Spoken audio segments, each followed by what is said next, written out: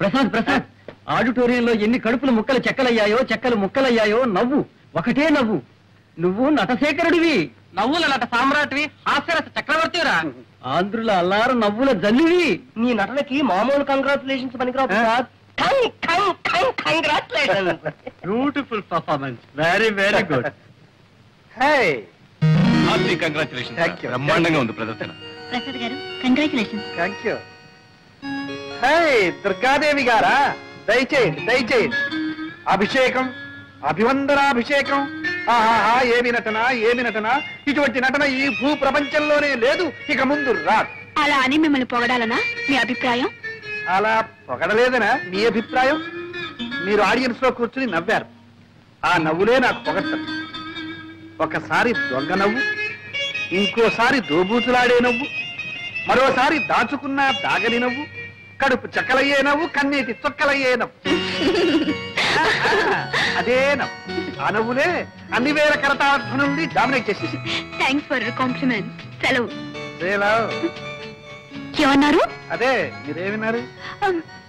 అన్నది విన్నది ఒకటేనా మళ్ళీ అనిపించుకోవడానికేగా ఈ అడగడం? వెళ్ళొస్తానయ్యా. దుర్గాదేవి గారు దయచేయండి. బ్యాలెన్స్ షీట్ చూసారా చూశాను. లాభం వచ్చినప్పుడు మింగల నష్టం వచ్చినప్పుడు కక్కాల్సిందే. భలేవారే మీరు. మేజర్ పార్ట్నర్ కాబట్టి చెప్పాలి గనుక చెప్పాను. అంతకంటే వేరే ఉద్దేశం ఏమీ లేదు. మీరిద్దరు ఇటు రండి.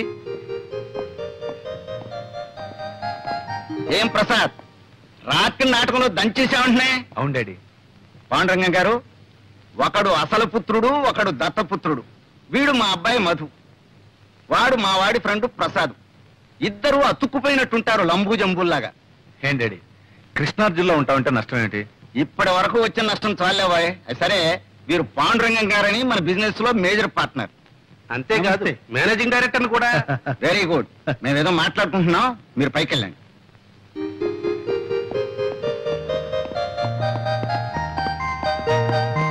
కూర్చోండి కూర్చోండి.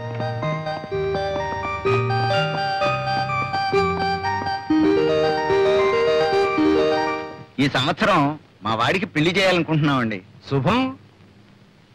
అవును మీకు పెళ్ళిడికి వచ్చిన ఒక అమ్మాయి ఉందనుకుంటాను? ఆ, ఉందండి. చాలా సంబంధాలు కూడా చూశారనుకుంటాను. ఇంకా చూస్తూనే ఉన్నాం. కానీ ఏది కుదరటం లేదు. దేనికైనా టైం రావాలి కదండి. వస్తుంది వస్తుంది. అది సరే కంపెనీ నష్టంలో నా వాటా ఎంత పడుతుందంటారు? దాదాపు రెండు లక్షలు పట్టచ్చు. కానీ ఈ ఏడాది మార్కెట్ చాలా బాగుంది. మీ రెండు లక్షలు భర్తీ చేశారంటే ఆరు మాసాలు తిరగకుండానే ఒకటికి నాలుగు రెట్లు లాభాన్ని కళ్ళ చూడొచ్చు నిజమే. కానీ రెండు లక్షలంటే పోనీ నెలాఖరికి సర్దండి. అలాగే చూస్తాను. మరి నేను వెళ్ళరానా మంచిది.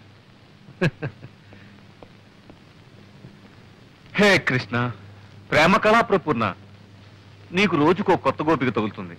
వద్దనుకున్నా వంద గజాలకే ఓ అమ్మాయి నీ కంటబడుతుంది అర్జున ఉన్నట్టుండి నీకు ఈ విషాదం ఎలా ఏర్పడను? లేక లేక ఒకే ఒక అమ్మాయిని ప్రేమించితని. ఆ అమ్మాయి నన్ను కన్నెత్తేనూ చూచడలేదు ఏమి చేయమందు? లేం నిలబడు.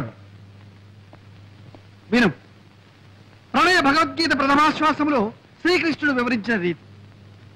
ఎప్పుడైనా అమ్మాయి నీకు ఎదురుపడినదా? పడినది. నీవేమి చేసేదివి? చిచి నేనేం చేయలేదు. చిచ్చి! ఏమీ చేయలేకపోయినా నువ్వేమి పైకి వచ్చినవు? ఆ అమ్మాయి నిన్ను ఎలా చూచును. ఏం చేయాలో తెలియదు గురు. శిక్ష. నేను అభినయించి చూపెదను గమనింపు. చూడు. అమ్మాయి. ఇలా నడిచి వస్తుంది. ఆ అబ్బాయి. అలా ఎదురుగుండా వస్తున్నాడు. అప్పుడు అమ్మాయి. తలవంచుకు వెళ్ళిపోతుంది. అప్పుడు అబ్బాయి. దగ్గరగా వచ్చి హలో అనాలి. అమ్మాయి. తల వంచుకుంది కదా? తలెత్తి చూస్తుంది. ఎలా చూస్తుందో ఒకవేళ కోపంగా చూస్తానా? కంగారు పడకూడదు. ఏమైనా సరే నీ చూపులు మాత్రం స్క్రూలు వేసి బిగించి అలాగే చూడు. చూస్తూనే అప్పుడు అమ్మాయి కంగారు పడుతుంది. తల వంచుకుంటుంది. అయినా సరే నువ్వు మాత్రం అలాగే చూస్తూ ఉండాలి అప్పుడు అమ్మాయి తలెత్తి. తలెత్తుతుందో చేయిస్తుందో చెంప చెల్లుమంటే అక్కడే టైమింగ్ కావాలి.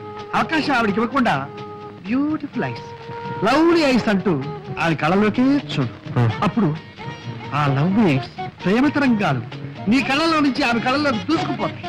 అప్పుడు ఆవిడ ఒళ్ళు పులకరిస్తుంది నిన్ను పలకరిస్తుంది. గురు? ట్రై చేయి. ఇది మొదటి పాఠం. తర్వాత పాఠం? ఇది ట్రై చేయి. ఇది సక్సెస్ఫుల్ అయ్యావంటే ఆ తర్వాత ప్రేమ పాఠాలన్నీ నువ్వే నమ్ము చెబుతావు thank you Guru. Thank you very much wish you best of luck